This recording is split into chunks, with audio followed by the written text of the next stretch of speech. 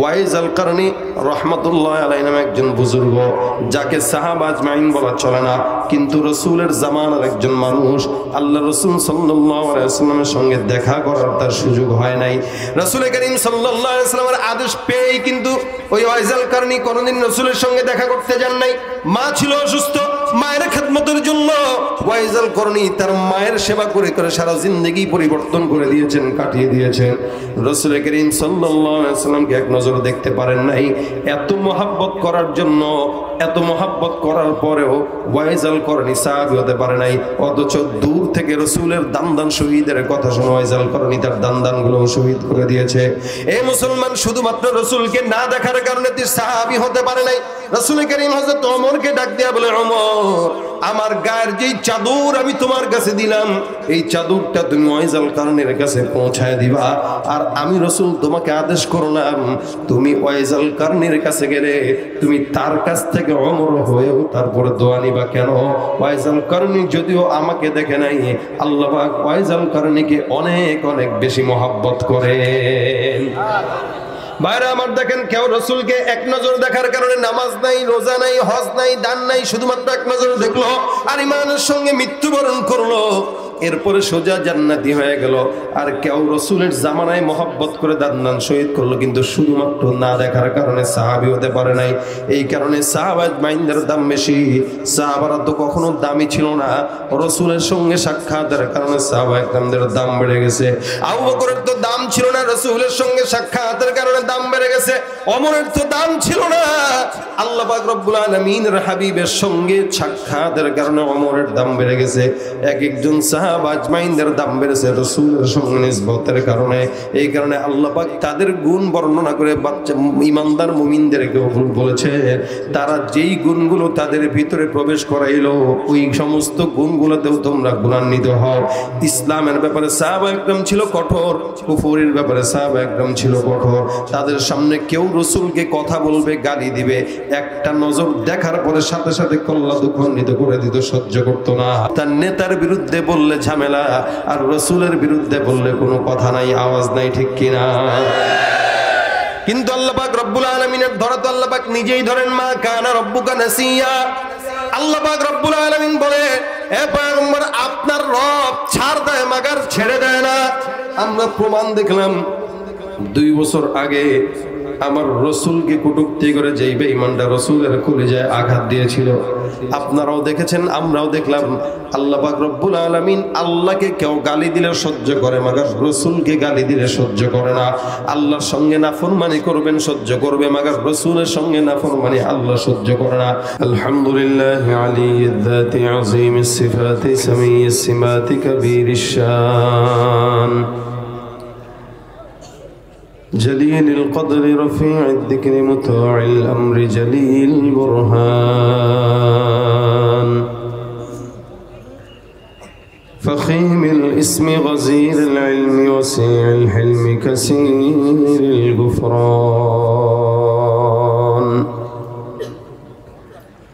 ونشهد أن لا إله إلا الله وحده لا شريك له.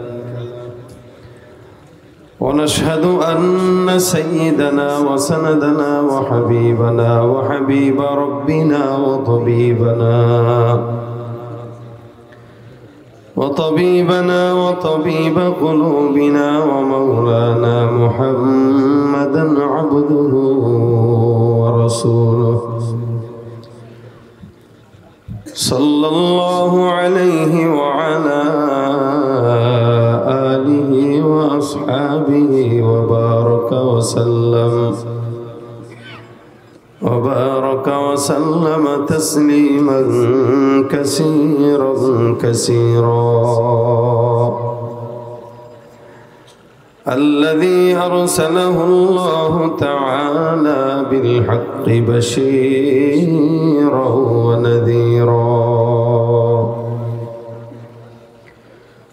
وداعيا إلى الله بإذنه وسراجا منيرا. أما بعد فأعوذ بالله من الشيطان الرجيم. بسم الله الرحمن الرحمن الرحيم. محمد رسول الله. والذين معه أشداء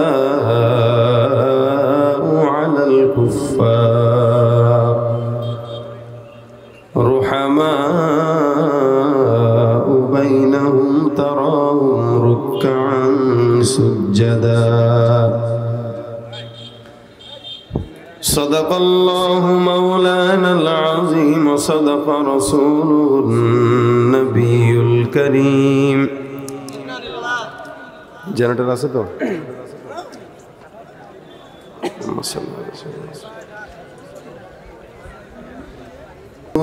على النبي يا أيها الذين آمنوا صلوا عليه وسلموا تسليما. زبان كل شكل درود إبراهيم بري اللهم صل على محمد وعلى آل محمد كما صليت على إبراهيم وعلى آل إبراهيم. إنك حميد مجيد. اللهم بارك على محمد وعلى آل محمد كما باركت على إبراهيم وعلى آل إبراهيم. إنك حميد مجيد. لا إله إلا الله. لا إله إلا الله لا إله إلا الله لا إله إلا الله لا إله إلا الله لا إله إلا الله لا إله إلا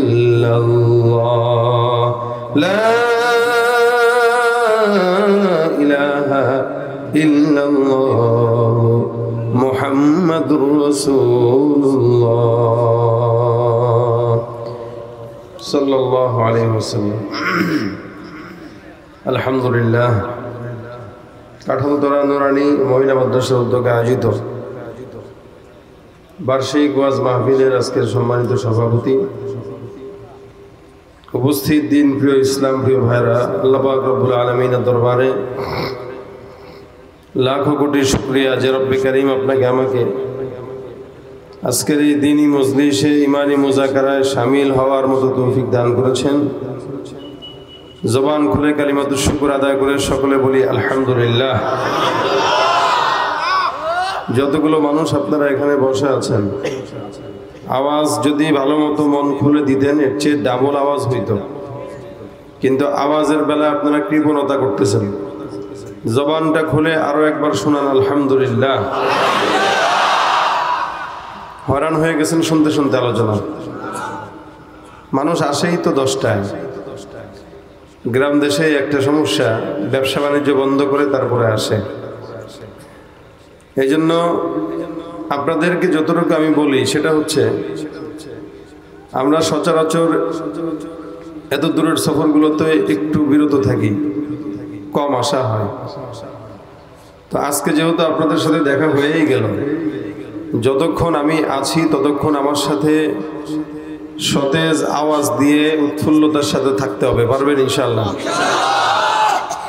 আমার তো মনে হয় এই মাহফিলের জোয়ান ভাইরা বেশি, মুরব্বীরাই কম।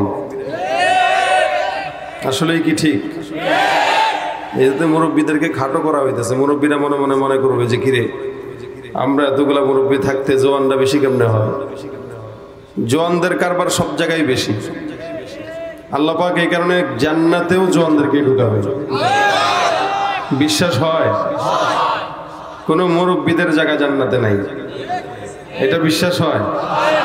কোনো মুরব্বীদের জায়গা জান্নাতে নাই। দাড়ি বাঁকাওয়ালাদের আফসোস করে লাভ নাই, জান্নাত পেবেন না। রসুল করিম সাল্লামের কাছে এক মুরব্বী আসছে ঘটনা জানেননি? আল্লাহ রসুল সাল্লাম বলতেছেন, কোন মুরব্বীদেরকে আল্লাহ জান্নাত দিবে না। তো এই মুরব্বী মহিলা পেরেশান হয়ে গেছে। হুজুর, জান্নাতে তো পাওয়ার জন্যই, যাওয়ার জন্যই তো আপনাকে মানি, অনুসরণ করি, আপনার পথে চলি, আপনার কাছে আসি। জান্নাতে যদি না পেলাম, তো এত কষ্ট করে নামাজ রোজা করা দরকার কি? বেচারি কানতে কানতে পেরেশান, পাগলের মতো অবস্থা। রসুল বলছে, আমি জান্নাতে যাব না। এর চেয়ে সত্য কথা তো আর হইতে পারে না। আল্লাহ রসুল সাল্লাম কিছুক্ষণ এর কান্নাকাটি দেখার পরে কয় এত কান্নাকাটির দরকার নেই, সবর। কথা বুঝো, তারপরে কাঁদো। বলে কি? তুমি যে মুরব্বী আছো, তোমার চুল পাকা, দাঁত নাই এই সমস্ত বুড়াদেরকে জান্নাতে ঢুকায় কি হবে? না ভাইবে গোস্ত খাইতে, না পারবে মাছ খাইতে, না পারবে একটু হুরগেল মানদেরকে নিয়ে ঘোরাঘুরি করতে, ঠিক না? এই কাজ ভালো মতো পারে জোয়ানেরা। কথা বোঝেন নাই? এই এলাকার ভিতরে এখন যদি আমি জিজ্ঞেস করব কিছুক্ষণ পরে। দেখবেন অধিকাংশ পোলাপান যুবক হওয়া সত্ত্বেও বিয়ে করে নাই। কারণ বিয়ে করলে বউ থাকে একটা, না করলে বলে থাকে দশটা। ঠিক নেই আর আমাদের দেশের স্বাধীনতা দিবস বলেন, একুশে ফেব্রুয়ারি বলেন, ছাব্বিশে মার্চ বলেন। প্রত্যেকটা দিবসকে যুবক পোলাপানগুলা প্রেমিক প্রেমিকার দিবস বানা ফেলে দিবস পাইলেই হচ্ছে বাস ডেটিং এ শুরু। আরও রাস্তাঘাট যদি একটু সুন্দর হয়, কোনো জায়গায় যদি একটু ব্রিজ ট্রিজ থাকে, তাহলে তো অভাব নাই। এখন মুরব্বী যারা, এদের তো আর এগুলার প্রতি তেমন টান টান নাই। তো জান্নাতে যদি আল্লাহ পাক রব্বুল আলামিন নেয় রাসূল করিম সাল্লাম বলেন তোমাকে যখন আল্লাহ পাক জান্নাত দিবেন, তখন তুমি আর সত্তর আশি বছরের বুড়া থাকবে না।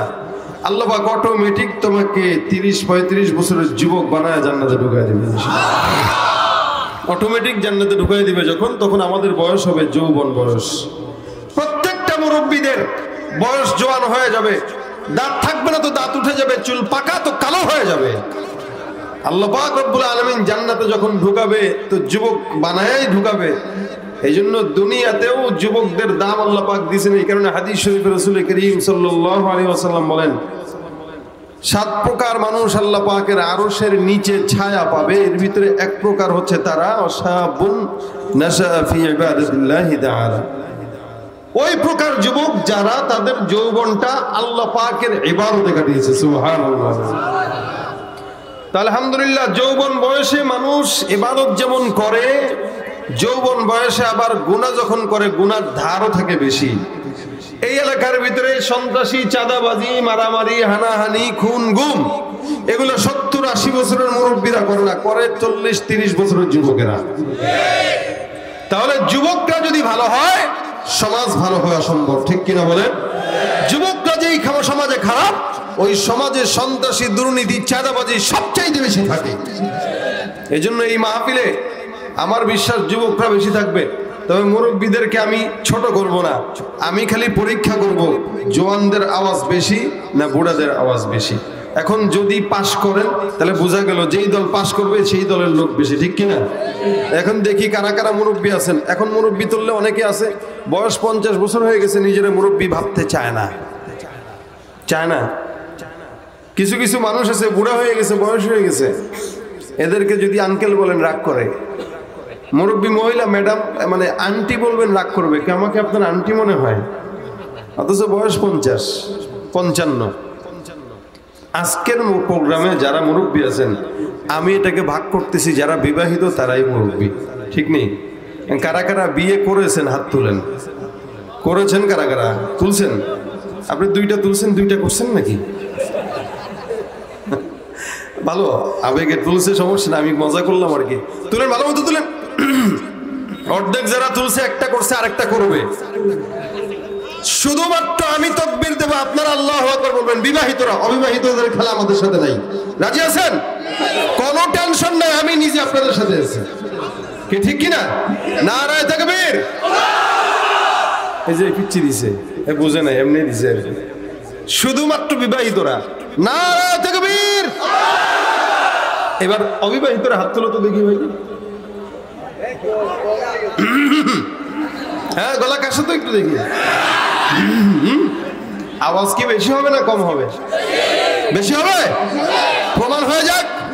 নারায়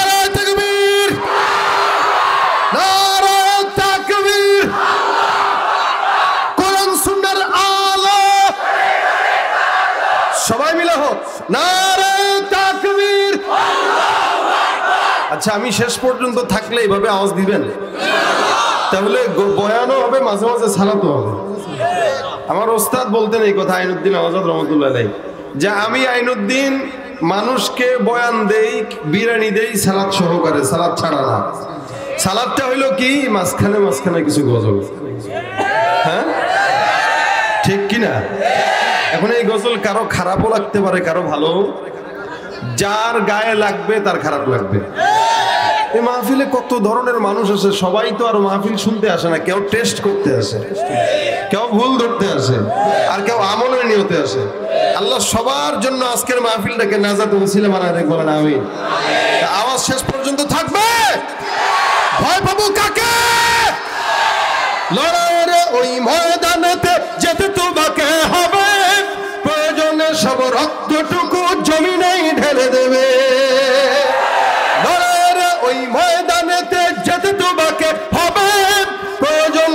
রক্তটুকু জমিনেই ঢেলে দেবে। তবুও তোমায় লড়তেই হবে, মানিবে না পরাজয়। তবুও তোমায় লড়তেই হবে, মানিবে না পরাজয়। বিপ্লব মানে জীবন দেয়া, বসে থাকা নয়।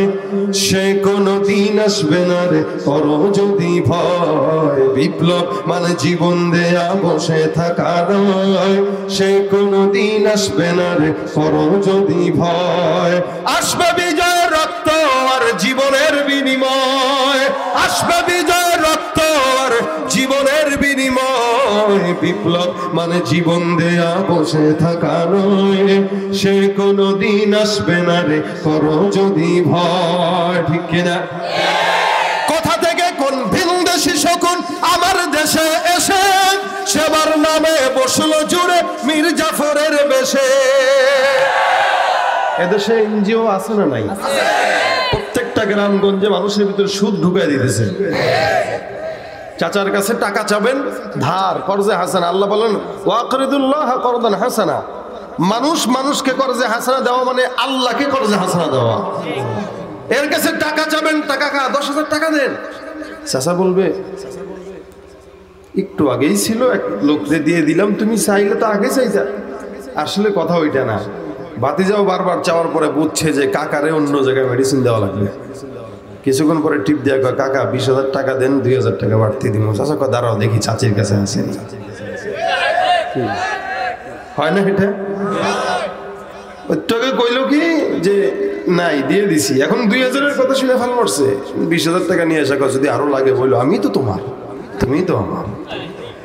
এই সমস্ত গ্রাম দেশে বিভিন্ন কোম্পানিগুলো এনজিও কোম্পানিগুলো এসে শুধুমাত্র মুসলমানের ইবাদত নষ্ট করার জন্য সুদের কারবারি ঢুকাই দিয়েছে ভিতরে এটা সেবার নাম দিয়েছে ঠিকই, মূলত এটা সেবা বলা হয় না, এটাকে বলা হয় জুলুম অত্যাচার। যখন টাকা সময় মতো দিতে পারবেন না, দেখবেন ঘরের চালটাও ঠিক মতো আর বাকি নাই।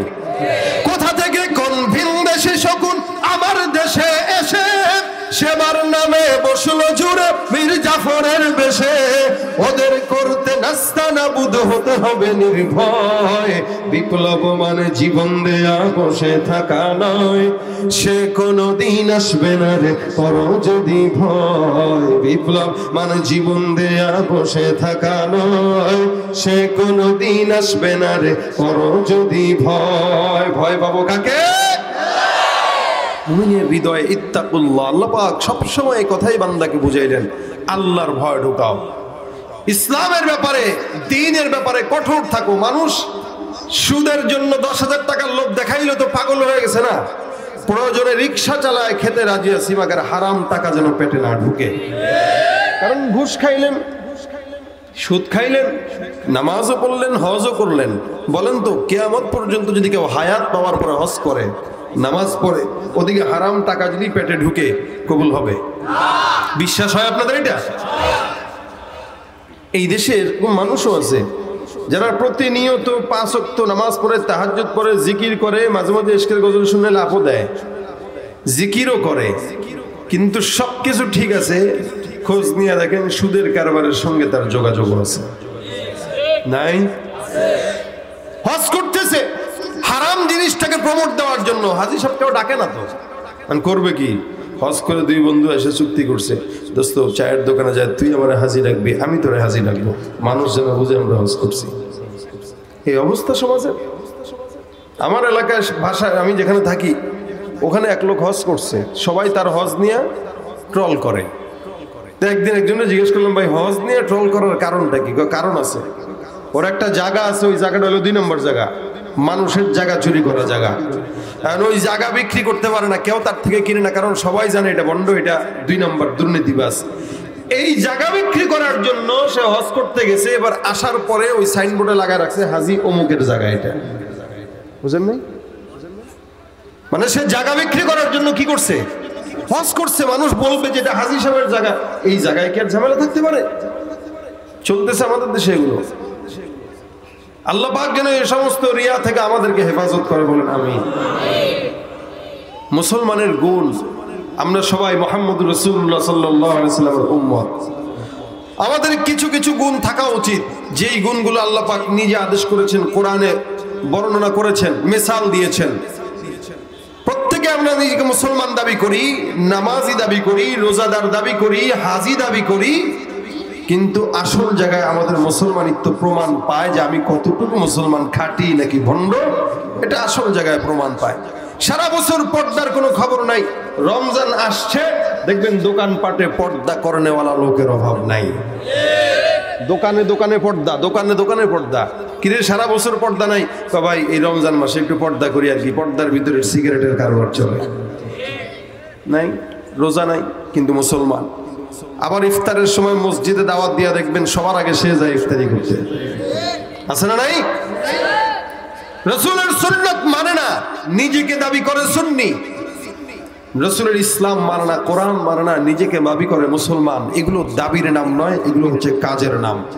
এই জন্য আল্লাহ পাক রব্বুল আলমিন এই কথা কোরআনে স্পষ্ট বলেছেন সাহাবা একরামদের গুণ ইমানদারদের গুণ থাকবে, সামিআনা ওয়া আতানা আমি যা শুনব কান দিয়ে, সেটা আমি পুঙ্খানু পুঙ্খানু মানবো। আর যেটা শুনব কিন্তু মানবো না, ওইটা হচ্ছে আনুগত্য না, ওইটা হলো আসানা ওইটা ইয়াহুদি খ্রিস্টান, কাফের, বেঈমান, মুনাফিকদের গুণ। তারা এক কান দিয়ে শুনতো, আরেক কান দিয়ে বের করে দিত। আর মুসলমান যে হবে, সে শুনবে আর বলবে, আসলাম না আল্লাহ, তুমি যা বললা, সবকিছু আমি মানতে এক বাক্যে তৈয়ার, এতে কোনো সন্দেহ নেই। এটা মুমিনের গুণ। আমরা ইসলামের ব্যাপারে কঠোর না, আমরা ইসলামের ব্যাপারে নরম, দুনিয়ার ব্যাপারে কঠোর। দুনিয়াতে নানান গুণা করতেছি যা খাল্লি মাল্লি করুক, এই বয়সে করবেই, প্রেম প্রীতি করছে, করুক, এই বয়সে করবেই। বিয়ের কথা বললে কয়, লজ্জা সরম কিচ্ছু নাই। বলো না বলো না। না, আপনারা কথা বুঝতেছেন না মনে হয়? কথা না বুঝলে আমিও ওয়াজ করতে পারব না। বিয়ের কথা বললে বাপ্পা বলা লজ্জা নাই, কিন্তু দশটার সঙ্গে ঘুরে ঘুরে জেনাবা বিচার করে, ওইটা দেখেও বাপ্পা কয়, এই বয়সে করবেই, স্বাভাবিক। নাউজুবিল্লাহ আর এই দেশে এই সমস্ত মানুষদের কারণে গুণা, ব্যবিচার, জেনা এগুলো দিন দিন বাড়তেছে। কারণ এরা দুনিয়ার ব্যাপারে হইলে কঠোর, ইসলামের ব্যাপারে নরম। থাক, নামাজ, এই বয়সে কি নামাজ করবে দেন। বুড়া হোক, দাড়ি পাকুক, চুল পাকুক, তারপরে ধরবে। কিন্তু আল্লাহ পাক রব্বুল আলামিন স্পষ্ট সাহাবা একরামদের গুণ এইভাবে বর্ণনা করেছেন। যে রসুল করিম সাল্লাম এবং তার সাহাবা আজমাইনদের গুণ কেমন ছিল?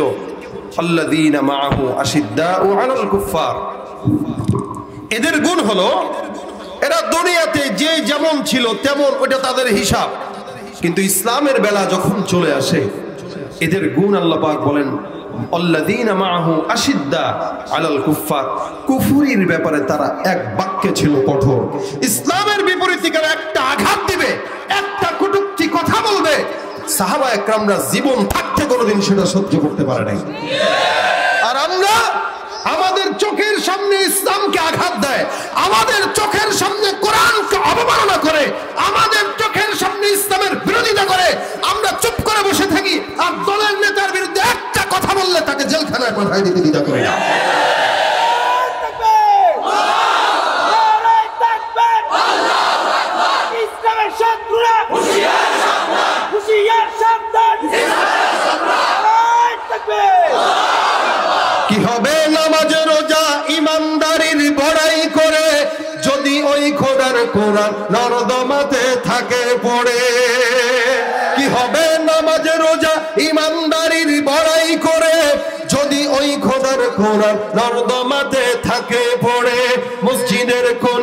বসে, জিকির যত করই কোষে মসজিদের কোণে বসে, জিকির যত করই কোষে এভাবে যায় না পাওয়া আল্লাহকে, কি হবে বেঁচে থেকে?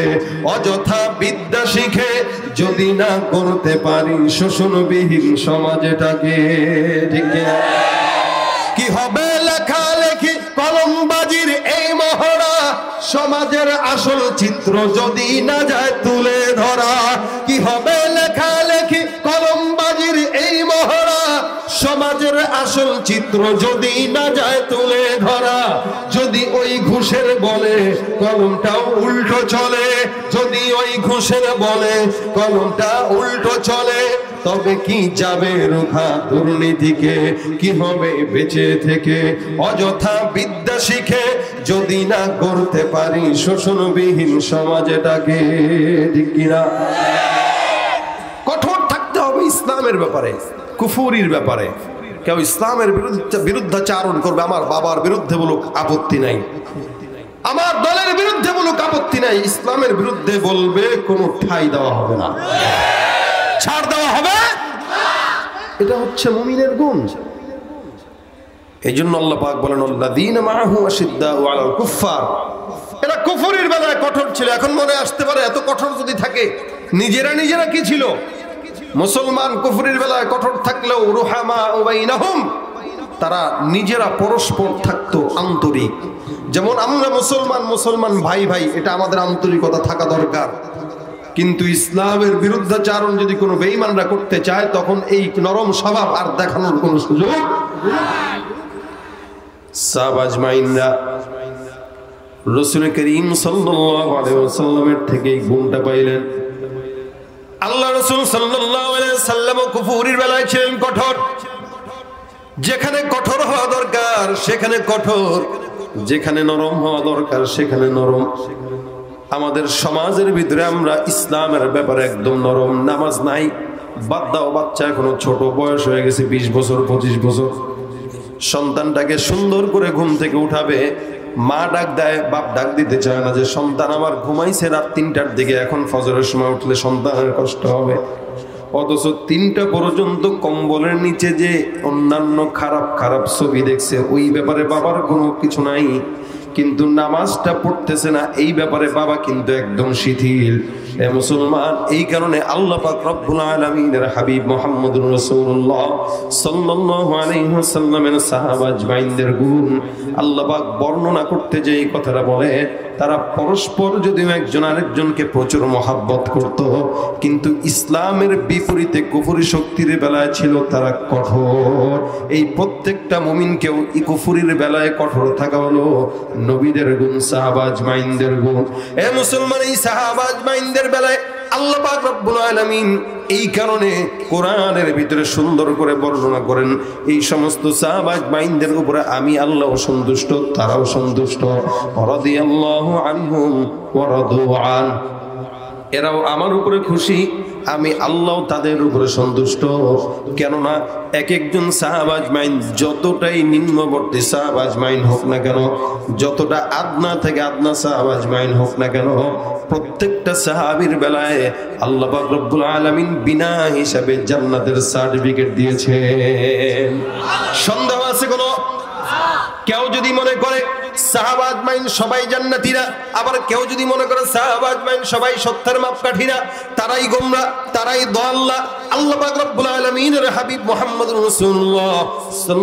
আলাইহি বলেন, একজন মানুষ যদি ছোট্ট থেকে ছোট্ট কোনো সাহাবাজ মাইনকে ফলো করে কোন বান্দা যদি এক একজন সাহাবীকে ফলো করে, প্রত্যেকটা বান্দাকে আল্লাহ পাক হেদায়েতের সঠিক রাস্তা দেখায় দিবেন। বাইরে আমার এই জন্য সাহাবাজ মাইন যতই নিম্নবর্তী সাহাবি হোক না কেন, সব সাহাবির মর্যাদা এক না। কিছু সাহাবি আশারায় মুবাসারা কিছু সাহাবি বদরের সাহাবি, কিছু সাহাবি রসুলের কাছে বায়াত হয়েছে কিন্তু কোনোদিন নামাজ আদায় করে নাই, এক অক্ত নামাজের সুযোগ পায় নাই। জিহাদের ময়দানে যে শাহাদাত বরণ করছে শুধুমাত্র কোনোদিন হজ করতেও পারে নাই, কোনোদিন সৎকাও করতে পারেন নাই। শুধুমাত্র ইমান আনলো আর যুদ্ধের ময়দানে যে ইমানের সঙ্গে শাহাদাত বরণ করল, এই সাহাবিটাও ইমানের সঙ্গে রসুলকে দেখার কারণে আল্লাপাক তাকেও বিনা হিসাবে জান্নাতি বানিয়ে দিয়েছে। সাহাবা একরামদের সম্মান নিতে এরকম। এই জন্য আবদুল্লাহ মুবারক রহমতুল্লাহ আলাইহির মতো একজন মুফাসসিরকে একজন ছাত্র একদিন প্রশ্ন করে ডাক দিয়া বলেন, হুজুর, আবদুল্লাহ ইবনে মুবারক রহমতুল্লাহ আলাইহিকে প্রশ্ন করতেছেন। মুয়াবিয়া রাদিয়াল্লাহু তাআলা একজন সাহাবী, ওদিকে খলিফা ওমর ইবনে আব্দুল আজিজ একজন শাসক।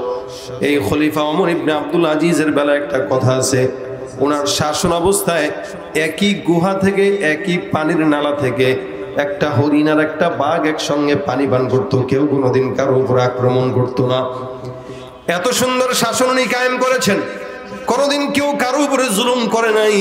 এত বিশাল বড় শাসকের বেলা বেলায় আবদুল্লাহ মুবারক রহমতুল্লাহ আলাইকে একজন প্রশ্ন করে, হুজুর, বলেন তো মুয়াবিয়ার বেলায় তো কেউ কেউ কিছু কথা বলার কথা বলতে চায়।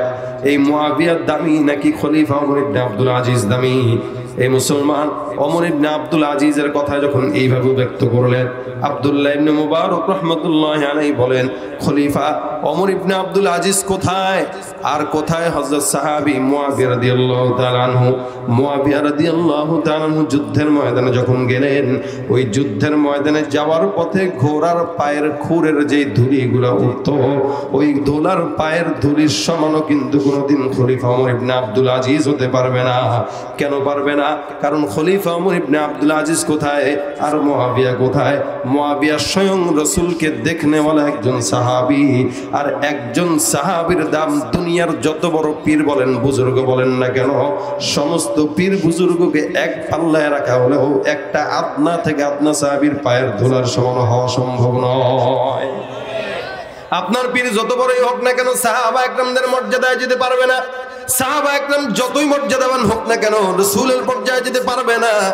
নিসবতের কারণে সাহাবা আজমাইনদের দাম ছিল। অপরদিকে ওয়াইজ আল কারণী রহমতুল্লাহ আলাই নামে একজন বুজুর্গ, যাকে সাহাব আজমাইন বলা চলে না। কিন্তু রসুলের জামানার একজন মানুষ আল্লাহ রসুল সাল্লামের সঙ্গে দেখা করার তার সুযোগ হয় নাই। রসুল করিম সাল্লামের আদেশ পেয়েই কিন্তু ওই ওয়াইজ আল কারণী কোনোদিন রসুলের সঙ্গে দেখা করতে যান নাই। মা ছিল অসুস্থ মায়ের খেদমতের জন্য ওয়াইজাল করণী তার মায়ের সেবা করে করে সারা জিন্দগি পরিবর্তন করে দিয়েছেন, কাটিয়ে দিয়েছেন। রসুল করিম সাল্লামকে এক নজর দেখতে পারেন নাই। এত মহাব্বত করার জন্য, এত মহাব্বত করার পরেও ওয়াইজাল করণী সাহাবি হতে পারে নাই। অথচ দূর থেকে রসুলের দান দান শহীদের কথা শুনে ওয়াইজাল করণী তার দান দানগুলো শহীদ করে দিয়েছে। এই মুসলমান শুধুমাত্র রসুলকে না দেখার কারণে তুই সাহাবি হতে পারে নাই। রসুল করিম হজরত অমরকে ডাক দিয়া বলে অমর আমার গায়ের যেই চাদর আমি তোমার কাছে দিলাম, এই চাদরটা তুমি ওয়াইজাল কারণের কাছে পৌঁছায় দিবা। আর আমি রসুল তোমাকে আদেশ করলাম, তুমি ওয়াইজাল কারণের কাছে গেলে তুমি তার কাছ থেকে অমর হয়েও তারপরে দোয়া নিবা কেন? ওয়াইজাল কারণী যদিও আমাকে দেখে নাই, আল্লাহ ওয়াইজাল কারণীকে অনেক অনেক বেশি মহাব্বত করে বাইরে আমার দেখেন, কেউ রসুলকে এক নজর দেখার কারণে নামাজ নাই, রোজা নাই, হজ নাই, দান নাই, শুধুমাত্র এক নজর দেখল আর ইমানের সঙ্গে মৃত্যুবরণ করল। এরপরে সোজা জান্নাতি হয়ে গেল। আর কেউ রসুলের জামানায় মহব্বত করে দান্নান শহীদ করল, কিন্তু শুধুমাত্র না দেখার কারণে সাহাবি হতে পারে নাই। এই কারণে সাহাবাজ মাইন্দের দাম বেশি। সাহাবারা তো কখনো দামি ছিল না। রসুলের সঙ্গে সাক্ষাতের কারণে সাহাবা দাম বেড়ে গেছে। আবু তো দাম ছিল না, রসুলের সঙ্গে সাক্ষাতের কারণে দাম বেড়ে গেছে। অমরের তো দাম ছিল না। আল্লাহ রব্বুল হাবিবের সঙ্গে সাক্ষাতের কারণে অমরের দাম বেড়ে গেছে। এক একজন সাহা আজমাইনদের দাম বেড়েছে রসুলের সঙ্গে নিসবতের কারণে। এই কারণে তাদের গুণ বর্ণনা করে বাচ্চা, ইমানদার বলেছে। তারা যেই গুণগুলো তাদের ভিতরে প্রবেশ করাইলো, ওই সমস্ত গুণগুলোতেও তোমরা গুণান্বিত হও। ইসলামের ব্যাপারে সাহাবা একদম ছিল কঠোর ব্যাপারে সাহাব একদম ছিল কঠোর। তাদের সামনে কেউ রসুলকে কথা বলবে, গালি দিবে। একটা নজর দেখার পরে সাথে সাথে কল্লা করে দিত, সহ্য করতো না। তার নেতার বিরুদ্ধে বললে ঝামেলা, আর রসুলের বিরুদ্ধে বললে কোনো কথা নাই, আওয়াজ নাই, ঠিক কিনা কিন্তু আল্লাপাক রব্বুল আলমিনের ধরা তো আল্লাপাক নিজেই ধরেন, মা কানা রব্বুকা নাসিয়া।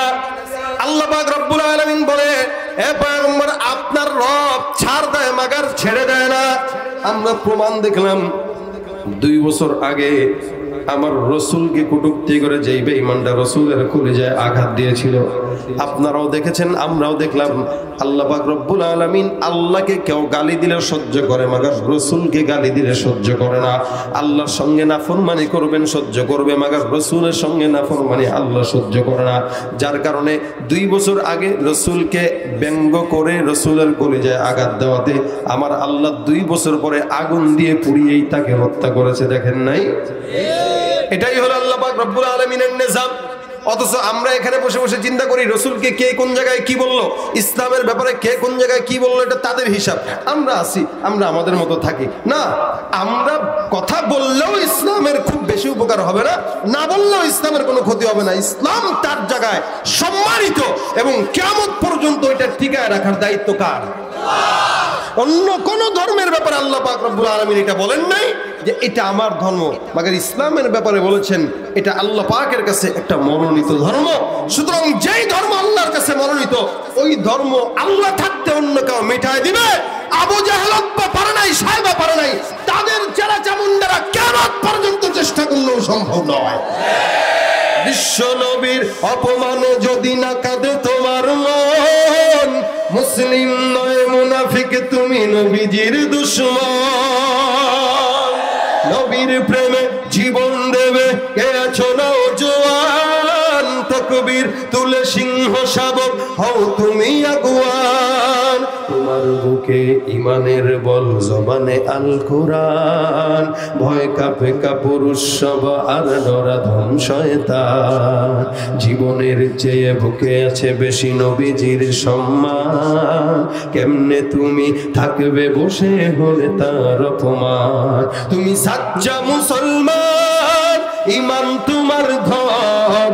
নবীর প্রেমে জাগ্রত তুমি নির্ভীক বলেন তুমি সাচ্চা মুসলমান ইমান তোমার ধব নবীর প্রেমে জাগ্রত তুমি নির্ভীক শ্রেষ্ঠ নবীর ব্যঙ্গ করে, পাপিষ্ঠ আর বদনসিব, আমরা তাদের ঘৃণা জানাই। ধিকে ধিকে ধিকে শতধিক, জাতিসংঘের কাজ কি তবে?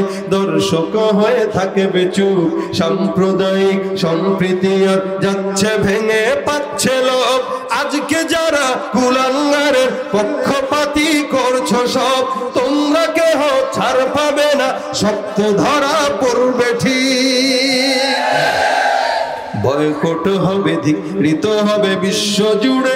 নিন্দা কুড়াবে, জাগলে মুসলমান জাগলে মুসলমান, তুমি সাচ্চা মুসলমান। ইমান তোমার ধন, নবীর প্রেমে জাগ্রত তুমি নির্ভীক পালোয়ান, তুমি সাচ্চা মুসলমান। ইমান তোমার ধন, নবীর প্রেমে জাগ্রত তুমি নির্ভীক পালোয়ান।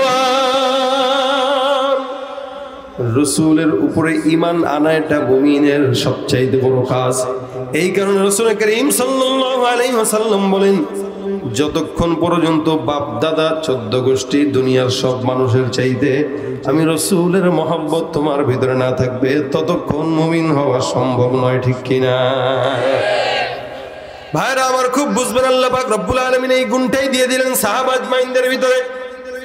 এই জন্য রসুলের সামনে রসুলকে সাহবাজ বাইনদের সামনে কেউ যদি কোনো আঘাত দিতে চাইতো আল্লাহ নবীর সাহবাজ বাইন কোনোদিন সহ্য করতেন না।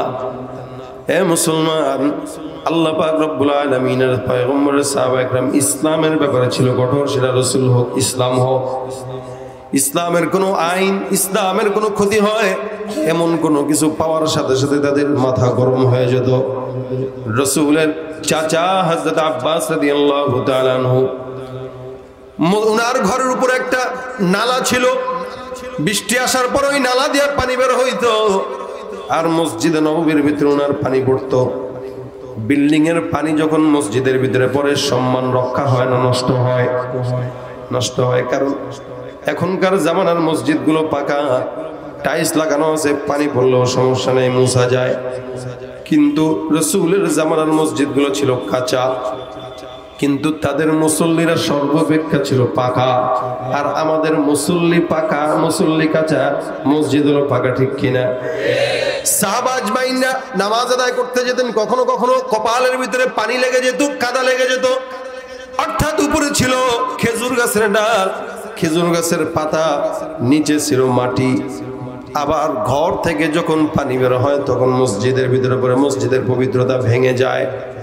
বর্তমানে মসজিদ এত সুন্দর সুন্দর, কিন্তু পবিত্রতা রক্ষা করা সম্ভব হয় না। কত বড় বড় মসজিদ, সুন্দর সুন্দর মসজিদ বানায় রাখছে, কিন্তু ভিতরে যায় দেখেন অবস্থা খারাপ। মুসল্লিও নাই, যেগুলো আছে সবগুলো চেয়ারে বসে নামাজ পড়া মুসল্লি।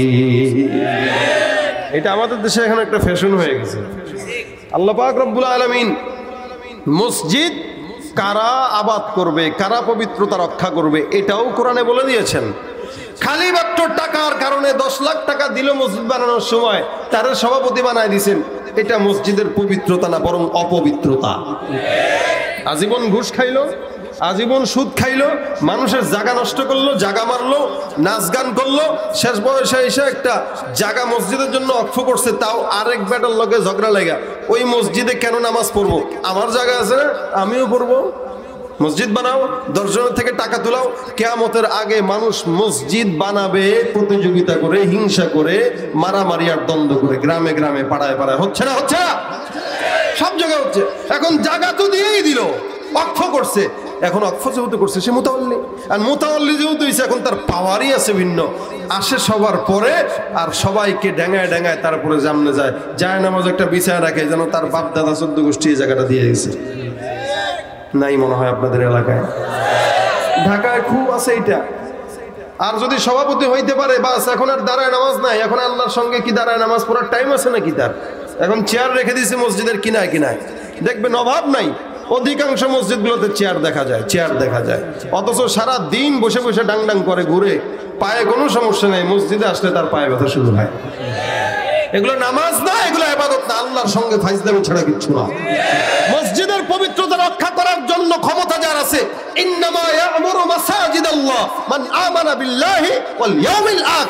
ঈমান যার থাকবে, আখিরাতের ভয় যার থাকবে, প্রত্যেকটা জিনিসের ভিতর আল্লাহ পাকের ইসলামের প্রতি যার দরদ আর মহব্বত থাকবে, মসজিদের পবিত্রতা রক্ষার জন্য একমাত্র সভাপতি হওয়ার যোগ্যতা তার আছে। কোনো সুৎখর ঘুষখোরের সভাপতি হওয়ার যোগ্যতা নাই। এটাই সিস্টেম এটাই উচিত। যার কারণে তো এটা হয় না বলেই তো, শুধুমাত্র টাকার কারণে, ক্ষমতা পাওয়ার কারণে, টাকা দিয়ে মোতাল্লি হওয়ার কারণে একজন আলেম ইমাম সাহেবের উপরেও সে কথা বলার সাহস দেখায়। অথচ বোম মারলেও সুরা ফাতেহা ওনার মুখ দিয়ে বের হয় না। তো এই, এইটা কেন? মসজিদের পবিত্রতা রক্ষা করার কোন নিয়ম এটা উনি জানে না, যার কারণে উনি এগুলো করে। অথচ পাক এটার নিয়ম বলে দিছেন, কারা মসজিদের সভাপতি থাকবে, কারা মসজিদের পবিত্রতা রক্ষা করতে পারবে? মসজিদের পবিত্রতা রক্ষা করা প্রত্যেকটা মুমিনের কর্তব্য। এই জন্য টাকা দিলেই মসজিদের মোতাবল্লি বানায়েন না। আল্লাহর ঘরের এত প্রয়োজন নাই, যতগুলো আছে ওগুলো আগে আবাদ করেন। জায়গায় জায়গায়, পাড়ায় পাড়ায় মসজিদ বানানোর চাইতে একটা মসজিদ যদি থাকে, ওইটা আগে ভরেন। তারপরে একটা মসজিদ করেন, কিন্তু মসজিদ হতে হবে কিসের উপরে? যেই জিনিসের নির্মাণ হবে তাকওয়ার উপরে ভিত্তি করে, ওইটার, ওইটাতেই রসুলকে আল্লাহ পাক নামাজ পড়ার আদেশ দিয়েছেন। এছাড়া মুনাফিকরা যে সমস্ত মসজিদ বানায়, বেঈমানরা যে সমস্ত মসজিদ বানায়, ওই সমস্ত মসজিদে আল্লাহ পাক স্বয়ং রসুলকে নামাজ আদায় করতে নিষেধ করেছেন। দরকার নাই, ওটা হিংসার উপরে ভিত্তি করে এই নির্মাণ হয়েছে। আর যেটা তাকুয়ার উপরে নির্মাণ হয়েছে, ওইটাতে যান দেখেন, হযরত ওমর ফারুক দেখল যে আব্বাস ঘরের ছাদে একটা নালা আছে, ওই নালা দিয়ে পানি পড়ে মসজিদে আসে। মেজাজ খারাপ হয়ে গেছে। রসুলের চাচা হয়েছে তো কি হয়েছে তাই বলে মসজিদের অপবিত্রতা করবে এটা ভাঙো। খোলো এটা, খোলো। একজন কয়, এটা তো রসুলের চাচার। চাচার তো কি হয়েছে রসুলের চাচা বলেই সে ভুল করবে, আর আমি অমর থাকতে পারি নেব। এটা হতে পারে না। নামাও, এটা নামাও। তো নালা ভেঙে দিল। আব্বাস আনহু কিছুক্ষণ বড় ঘরে আসলেন। তাকায় দেখেন নালা নাই। ব্যাপারটা কি? আমার নালা তো আমি নিজে লাগাই নাই পয়সা মোহাম্মদ রসুল্লাহর অনুমতিতে লাগানো হয়েছে। এটা ভাঙলো কে? বলে অমর। অমরের কাছে দৌড় মেরে চলে গেল আব্বাস খলিফা অমরের কাছে যখন যায় আল্লাহ নবীর সাহাবি অমর তাআলা আনহু বলেন, কেন আসলেন? আমার ঘরের নালা আপনি কেন ভাঙলেন? হযরত ওমর ফারুক মেজাজ খারাপ করে বলে, আপনার সাহস তো কম না। মসজিদের ভিতরে আপনার ঘরের নালার পানি যায়। আপনি আবার আমার জিজ্ঞাসা করছেন, আমি কেন করলাম এটা না? আব্বাস রাদিয়াল্লাহু তাআলা ওমরকে ডাক দিয়ে বলে, ওমর তুমি কি জানো? এই পানির নালাটা আমি নিজে লাগাই নাই। স্বয়ং মদিনাওয়ালা আলাইহি লাগাইছেন এবং তার অনুমতি সাপেক্ষেই ফারুক এতদিন যদিও রাগ ছিল এতক্ষণ, ওই রাগটা কেন ছিল বলে ইসলামের জন্যই ছিল। এখন রসুলের নাম শোনার সাথে সাথে অমরের রাগ পানি হয়ে গেছে। অমর ডাক দিয়া বলতেছে, আব্বাস চলেন কোথায় বলে মসজিদে নবীর সামনে আপনার বাসায়? কেন?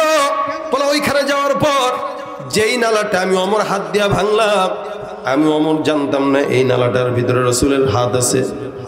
সুতরাং আমার রসুল করিম সাল্লাম যেই নালা নিজের হাতে লাগাইতে পারে, ওই নালার অনুমতি রসুলের থাকার পরেও আমি অমরের হাত দিয়া ভাঙার মতো কোনো দুঃসাহস থাকতে পারে না।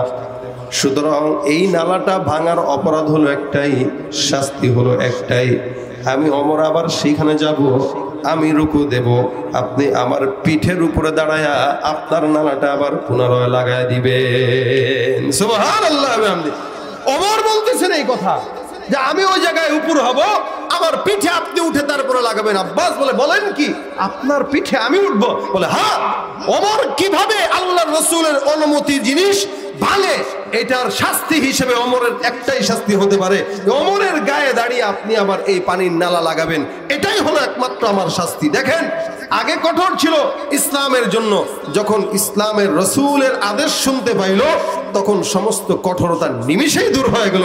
রুহামা উবাইনাহুম এখন বন্ধু সুলভ আচরণ, কীভাবে ক্ষমা চাওয়া যায়, কীভাবে ক্ষমা পাওয়া যায়, এটাই ছিল সাহাবাজ মাইনদের গুণ। আর আমাদের গুণ হলো, একজন একটা গালি দিবে, বলে ফেলছি তো বলে ফেলছি, বাস আমি এটা করছি তো করছি, এবার যারা দুনিয়ার মানুষ যদি আমার বলে এটা করো না, বাস হবে না, লাভ নাই, কারণ আমি বলে ফেলছি এটা। আর একজন যদি একটা কথা বলে, আমি তো পারলে দশটা বলব, না পারলে আরও একশোটা বলব। ওইটা আমার মুখ দিয়ে আরও যত আসে বলে, কিন্তু ওইটার থেকে যে একজন মানুষের কাছে মাফ চেয়ে নিজের তাবাজু অবলম্বন করা, এই গুণ মুসলমানের ভিতরে বর্তমানে নাই। এই জন্য এই গুণটা বর্ণনা আল্লাপাক কেন করেছেন? মানুষ যেন দিলের ভিতরে ঢুকাইতে পারে।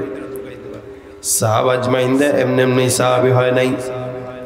এক একজন সাহাবি পয়গম্বরের অনুসরণ করে সাহাবি হইল। দুনিয়ার জমিনে সবাই আমরা মুসলমান দাবি করি, কিন্তু রসুলের সুন্নত, রসুলের আখলাক মানলেওয়ালা যুবকের অভাব। দাড়ি রাখতে বলবেন, গায়ের ভিতরে জ্বলে যায় দেখবেন মুখের ভিতরে দাড়ি নেই দাড়ি রাখে কয় বয়সে বলে? পঞ্চাশ বছর বয়সে যায় দাড়ি রাখে রসুলের সুন্নি দাবি করে সুন্নত নাই, রসুলের আশিক দাবি করে, মাগারে আশক নাই। এমন ভাবে ইহুদি খ্রিস্টানদের চাল চলনে নিজেকে চালায়, দেখলে বোঝার উপায় নাই, এটা মুসলমানের সন্তান নাকি ইহুদি খ্রিস্টানের সন্তান, ঠিক কিনা? প্যান্ট পড়তেছে চোদ্দ জায়গায় ছিঁড়া। চুল রাখতেছে এক মোটামুটি স্মৃতিসৌধের মতো চোখা। আছে না এই এলাকায়? শহরে খুব বেশি। যদিও গ্রাম সাইডেও এই সমস্ত হাওয়া ঢুকে গেছে। চুলের কালার করে লাল, হলুদ, নীল, সবুজ, কত প্রকার কালার আছে। আর প্যান্টের দিকে তাকাইলে দেখবেন জোড়াতালির অভাব নাই। এটা আবার টাকা দিয়েও কিনে, তাও দুই চার হাজার, পাঁচ হাজার টাকা দিয়ে। এলাকার চাষি যদি দেখে, বলে, কি ব্যাপার? অ্যাক্সিডেন্ট হয়েছে কোন জায়গায়? কয়, কিসের অ্যাক্সিডেন্ট কয়, যে প্যান্ট সিরা ধর! ইজ্জত পাঞ্চার করে দিয়েছে। আমি এটা কিনছি বসুন্ধরা শ্রী থেকে দশ হাজার টাকা দিয়ে, পাঁচ হাজার টাকা দিয়ে। এ মনে করছে উলঙ্গপন আধুনিকতা। যদি উলঙ্গপনার নাম আধুনিকতা হতো, গরু, ছাগলের চেয়ে আধুনিক আর কেউ হইতে পারে না। এই হলো আমাদের যুবকদের, এখানে টেস্ট করেন না। এখানে চেক করলেই দেখবেন দুই, চার জনের প্যান সিরা আছে এখানে। আছে? আছে? অথচ সে রসুলকে রসুলের আশেক দাবি করে, কিন্তু সুন্নত মানার ক্ষেত্রে একটুও মানতে চায় না। যদি বলেন, দাঁড়িয়ে রাখো না কেন? এটা বয়স হয়েছে নাকি? দাঁড়িয়ে রাখার? আজীব অবস্থা। অথচ কথায় কথায় নিজেকে মুসলমান দাবি করে। ভাইরা, আমার সাহাব আজমাইন মুসলমান নামের ছিল না, কামের ছিল, জোরে বলেন তো? কিসের ছিল? আর আমরা কিসের? আমরা হইলাম নামের মুসলমান। তুমি নবীর উম্মত, দাবি করো, সুন্না মানো না। নবীর অপমানে তোমার হৃদয় কাঁদে না।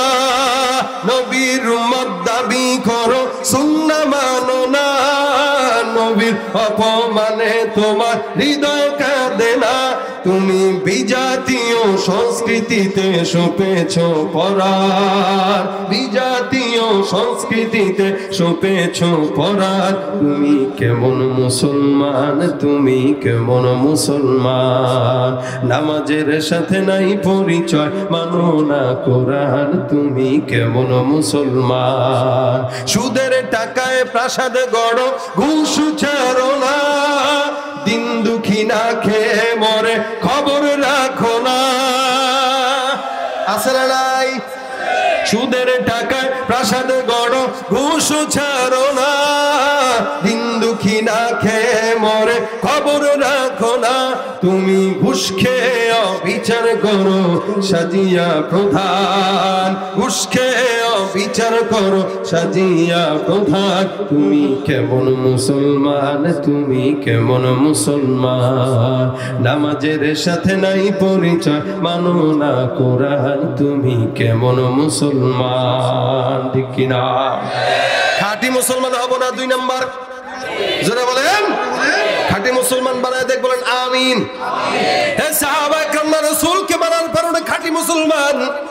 আমরা নিজে নিজের সমাজের ভিতরে নিজেরা নিজেদেরকে মুসলমান দাবি করি, মাগার রসুলের আদর্শ মানি না, পশ্চিমার আদর্শ মানি। হে মুসলমান সমাজকে পরিবর্তন করার জন্য একমাত্র রসুলের আখলাক ছাড়া, রসুলের আদর্শ ছাড়া অন্য কোনো আদর্শের দাম নাই। রসুলের আদর্শে আদর্শিত হলে সাহবাজ মাইন্দের মতো হওয়া যায়। আর সাহবাজ মাইন্দের সঙ্গে যাদের মহাব্বত থাকবে, রসুলের সঙ্গে যাদের মহাব্বত থাকবে আল্লাহ রসুল সাল্লাম বলেন আলমার উমান আহাব্বা। কয়েকজন সাহাবাজ কাছে সে ডাক দেয়া বলে আল্লাহ ইসলামের ব্যাপারে যে আমরা এত কষ্ট করি, মেহনত করি, আপনার সঙ্গে প্রত্যেক দিন আমাদের সাক্ষাৎ। রসুল আমরা একদিন না দেখলে আপনাকে আমাদের অন্তরের ভিতরে জ্বালা বেড়ে যায়। মাগার জান্নাতের ময়দানে যখন আপনি পয়গম্বর যাবেন, আপনার মর্যাদা থাকবে অনেক অনেক উপরে। আমরা তো সাহবাজ মাইন একদম ছোটখাটো। আমরা কীভাবে জান্নাতের ময়দানে আপনাকে না দেখে থাকব? রসুল করিম সাল্লাম বলে, এ বান্দারা, একটা কথা মনে রাখবা। মাইয়িতে আল্লাহ রসুল আলাইহিম মিনান নাবিয়্যিনা ওয়াস-সিদ্দীকিনা ওয়াশ-শুহাদা ওয়াস-সালিহিন। আল্লাহ পাক রব্বুল আলামিন রাসূলকে আয়াত নাযিল করায় দিলেন। সাহাবাজ বাইনদেরকে বুঝায় দাও। পয়গম্বর, আপনি তাদেরকে বলে দিন, এক নম্বরে যেন আল্লাহর এতআত করে, দুই নম্বরে যেন পয়গম্বরের এতআত করে। এই দুই জনের এতআত করার দ্বারা আল্লাহ পাক সঙ্গে বান্দাকে জান্নাত দিবে। একটা হলো নবীন, দুই নম্বর সিদ্দিকিন, তিন নম্বর সুহাদা, চার নম্বর সোয়ালেহীন এই চার প্রকার মানুষের সঙ্গে আল্লাহ তাকেই রাখবে, যারা ইসলামের পরিপূর্ণ বিধান মেনে চলতে পারবে ঠিক কিনা। এই জন্য ভাইরা আমার, শুধুমাত্র নিজেকে মুসলমান দাবি করার নাই, ইসলাম নয়। যতটুকু দাবি করব ততটুকু মানা। শুধুমাত্র জিকির করাটাই এবাদত, শুধুমাত্র নামাজ পড়াটাই বলে এবাদত বলে না না। আমরা আমাদের সমাজের ভিতরে চলতে গেলে যদি আমাদের চোখের সামনে কোনো গুনাহের কারবার দেখি, তাহলে কঠোর হয়ে যাব। যদি আমাদের চোখের সামনে কোনো অন্যায় দেখি, কঠোর হয়ে যাব। আর ইসলাম চলে আসবে তো এই জায়গায় একদম আমরা নরম। কেন? রোহামা উমাইনাহুম, একজন আরেকজনের সঙ্গে পারস্পরিক ভাই ভাই হয়ে সম্পর্ক থাকে, এটা মুমিনের গুণ। আর কখন কঠোরতা দেখব, তখন কঠোরতা অবলম্বন করা, এটাও হলো মুমিনের গুণ। অর্থাৎ নামাজ পড়ার সময় কোনো, অন্য কোনো সলচাতুরি চলবে না। পর্দা করার সময় অন্য কোনো সলচাতুরি চলবে না। মানুষ মানুষকে ঠকানোর সময় এই কথা খেয়াল রাখতে হবে তো ইসলামের বাহিরের কাজ। সুতরাং কত মানুষ যদি আমাকে দশ লক্ষ টাকার অফার দেয় তারপরে অন্যকে ঠকানো যাবে না। এই জায়গায় থাকতে হবে কঠোর। নামাজের বেলায় এই জায়গায় সুন্দর করে ইসলামের পরিপূর্ণ হুকুম মানা। কতগুলো যুবক এখানে আসছেন? যদি জিজ্ঞাসা করি সারাদিন পাঁচ ওয়াক্ত নামাজ আদায় করছেন কিনা? অনেকে তো এশারের নামাজও এখনও পড়ে নাই ঠিক কিনা? নাই। বয়ান শেষ হবে, মোনাজাতের বাসায় যায়, ঘুম দিবে। এতক্ষণ পর্যন্ত ওয়াজ করার পর যদি আবার নামাজ পড়া লাগে, তো লাভ হইল কি? অথচ নামাজ পড়ানোর জন্যই কিন্তু এই মাহফিলটা। কিন্তু নামাজ নাই। রোজার জন্য এই মাহফিল। রোজা নাই। মানুষের সঙ্গে মানুষের মহাবেলা মহাসারা ভালো হওয়ার জন্য এই মাহফিল। ওটারও কোনো বার্তা নেই। এখানে একজন একজনকে ধমক দিতেছে। হ্যাঁ সামনে আগস্ট থেকে হ্যাঁ বসস না কিন্তু অথচ ইসলামের জন্যই তো এই প্রোগ্রাম। এই জন্য ভাইরা আমার শুধুমাত্র মুসলমান দাবি করা এটাই না। আমরা এখানে যুবক যারা আসছি, যুবকরা আছি মুরব্বীরা আছি প্রত্যেকে এখানে আছি আমরা। সবাই এই কথা যদি চিন্তা করি যে এখন থেকে আমি সাহবাজ বাইনদের গুণ অবলম্বন করব। আমার সামনে কোনো অন্যায় দেখব, আমি কঠোর হয়ে যাব। আর মমিন ভাইয়ের জন্য আমি নরমদিল হয়ে যাব। একজন যদি আঘাত পায়, আমি মুমিন হিসেবে আমি এমন একটা ভাব ধরবো যেন আমিও তার আঘাতে ব্যথিত হয়েছি। কিন্তু বর্তমানে অবস্থা এরকম, মুসলমান কীভাবে মুসলমানকে খোঁচা দিবে? একজন একজনকে হিংসা করবে। হিংসা করেই তো গুল পায় না। মহাব্বত রাখবে কোথায়? অথচ এটা মুসলমান আদর্শ হতে পারে না। আমাদের কঠোর যেখানে থাকা দরকার ছিল সেই জায়গায় আমরা কঠোর না। আর যে জায়গায় নরম থাকা দরকার ছিল, সে জায়গায় আমরা নরম না। সাহাবাজ বাইনদের গুণ এটা আমাদের প্রত্যেকের হৃদয়ে ঢুকানো। যতগুলো যুবক এখানে আসছেন, প্রত্যেকটা যুবককে বলি, এই বয়সটা একটা জান্নাতি বয়স যে এই বয়স আল্লাপাক জান্নাতের মানুষ, মানুষদেরকে বানায় দিবে, এই বয়সে রূপান্তরিত করে দিবে। এই জান্নাতি বয়সে যদি জান্নাত কামাই করতে না পারি, বুড়া বয়সে জান্নাত কামাই করা সম্ভব না। কারণ আল্লাহ পাক মানুষের জীবনের গোটা একটা হিসাব নেয়, আবার আলাদাভাবে যৌবনের আলাদা একটা হিসাব নেবে। কেন? বলে, যৌবনটা কি কাজে লাগাইছো? ওইটার আগে হিসাব দাও, তারপরে তোমার হিসাব হবে। কারণ মানুষের বোঝা গেল, যৌবনের হিসাবের দাম আছে, যৌবনের এবাদতের দাম আছে, যৌবনের গুনাহের যেমন ধার, যৌবনের এবাদতের তেমন ধার। এই জন্য প্রত্যেকটা যুবক আজকে যদি এখানে এই নিয়ত করেন যে, আমরাও, কেউ যদি আমাদেরকে দাঁড়িয়ে রাখছি, তো কেউ যদি বলে, এই মোল্লা দাঁড়িয়ে রাখছিস কেন? আমি এই ব্যাপারে কঠোর হয়ে যাব। আমি দাঁড়িয়ে রাখলে তোর সমস্যা কি?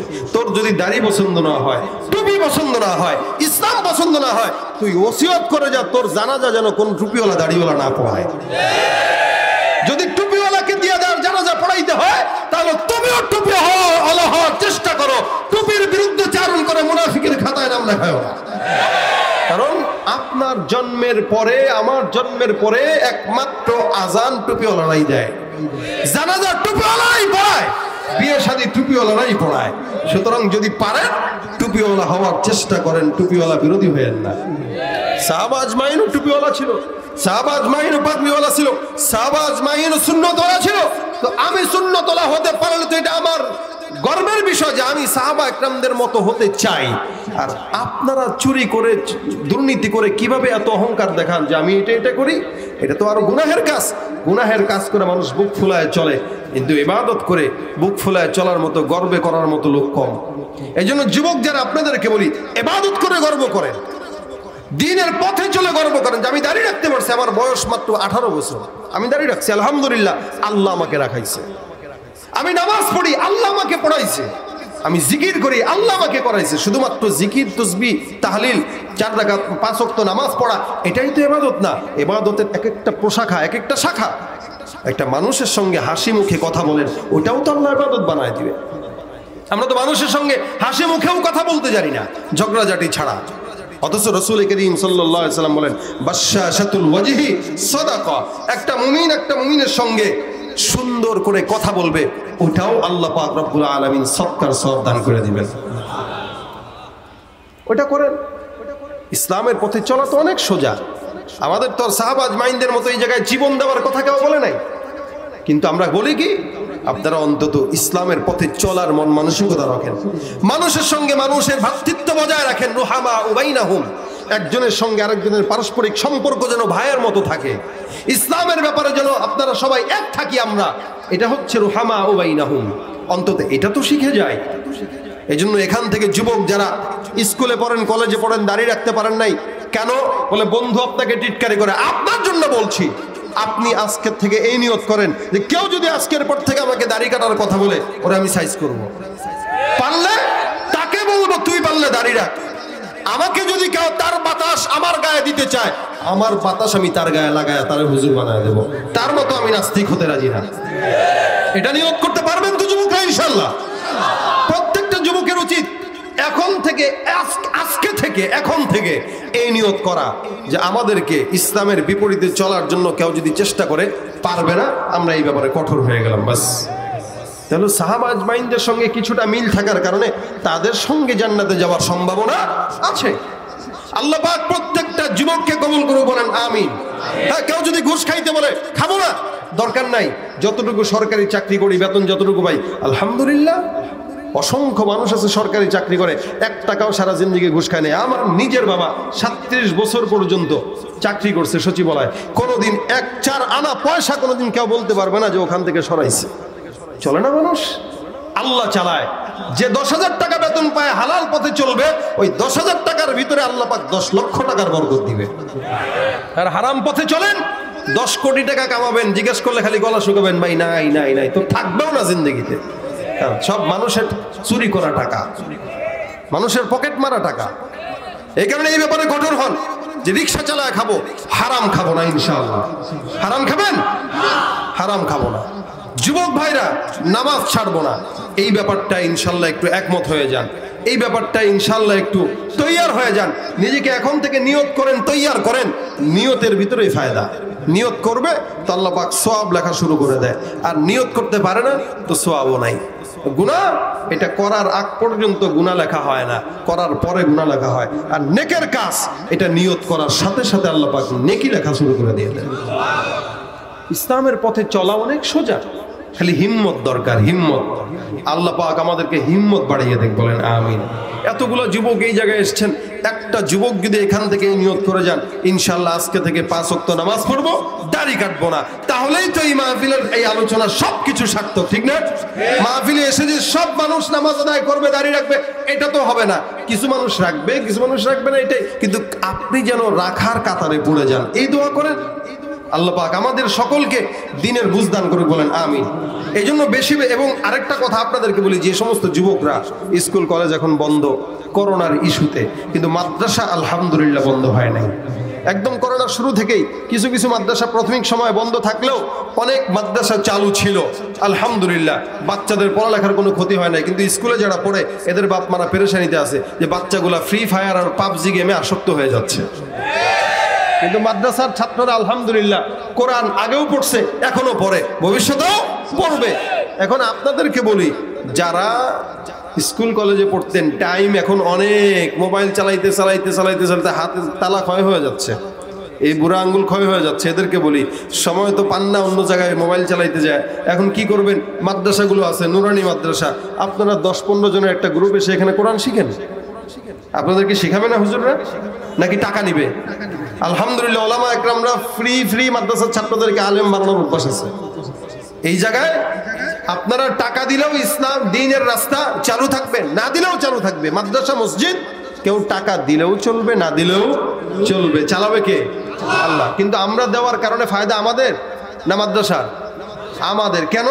আমি এই টাকাটা মাদ্রাসায় দিলাম, এখানে মাদ্রাসার ছাত্ররা পড়ল, এই সৎকার দুনিয়াতে কাজে না লাগলেও আখেরাতে কাজে লাগবে।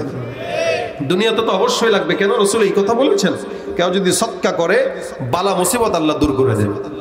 সামনে একটা মুসিবত আছে, মনে করেন, সৎকার মাধ্যমে মুসিবতটা আল্লাহ দূর করে দিবেন সামনে বিপদ আছে অ্যাক্সিডেন্ট আছে, তো সৎ- সৎকা করে বেরোইলেন, দেখা যাবে অ্যাক্সিডেন্ট অন্য হয়েছে আপনি হন নাই। সৎকার দ্বারা বালা মুসিবত দূর হয়, আর দিনের মাদ্রাসায় সৎকা করা, দান করা, এগুলো আরও বেশি ফজিলতপূর্ণ, কারণ চব্বিশটা ঘণ্টা ছেলেগুলা কোরআন পড়তেছে। আপনি অটোমেটিক বাসায় শুয়ে শুয়ে আপনি সোয়াব পাইতেছেন।